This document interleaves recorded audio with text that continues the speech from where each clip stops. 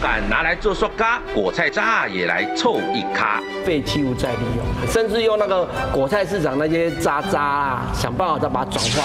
在国外，这种环保塑胶已经随处可见啦。欧洲或是美国，他们有在用把生的塑胶渐渐在用在农业上面，那就是水果水果的造纸。